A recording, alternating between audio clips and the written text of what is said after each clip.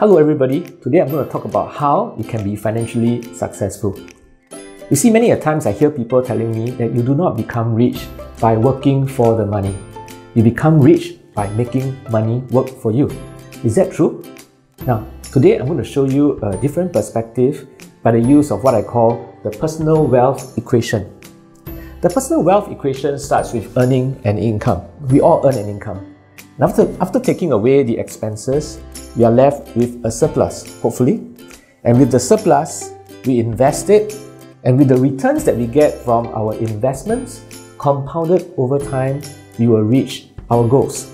So there are two sides to the personal wealth equation the left side and the right side. It is the left side that helps you create wealth. Many people do not realize that you are the wealth creation machine. This is the part whereby it helps you become rich.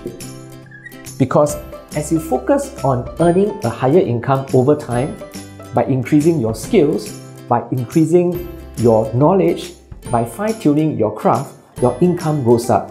And if your income goes up and you manage your expenses correctly, then you are left with a huge surplus. It is this part that helps you become rich.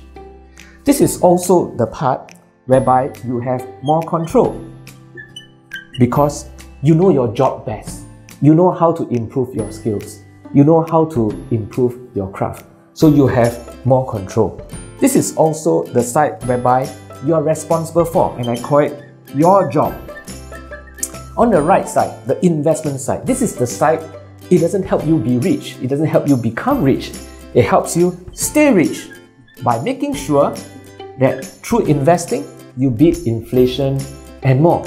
This is also the side whereby you have lesser control because we all have lesser control over the market. And this is also the side whereby you might not have the expertise. And this is the side whereby you outsource to us. It is our job. It is Providend's job. And therefore, perhaps the better way to be successful financially is not just to focus on the right side, it's not to focus on the right side, but rather focus on the left side, which is you. You are the wealth creation machine.